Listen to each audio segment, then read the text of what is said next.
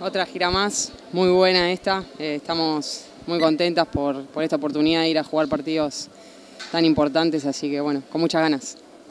Bien, el grupo está bien, ansiosas por encontrarnos con las chicas de afuera. Eh, ahora, en la previa de Lima tuvimos la suerte de pasar mucho tiempo juntas, entrenando y demás. Y bueno, fue poquito el tiempo que nos separamos y ahora ya nos volvemos a reunir todo el equipo.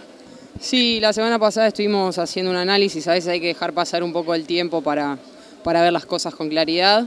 Obviamente somos un equipo que quería clasificarse a los Juegos Olímpicos y que estaba convencido de ir a ganar el partido con Brasil pero no por eso le sacamos valor a lo que hicimos, no por no haberlo logrado le sacamos valor porque el proceso en sí mismo tiene mucho valor y la convicción con la que nosotros estamos encarando todo es lo que va a traer resultados quizás a mediano o largo plazo. Yo creo que estamos bien, eh, nada, ahora bueno nos vamos a juntar y estos partidos van a ser un buen termómetro por ahí para lo que viene. Tenemos muchas ganas de hacer historia. Eh, es una zona que nunca se puede, nunca puedes hablar ni de fácil ni de difícil, porque en realidad son todos difíciles.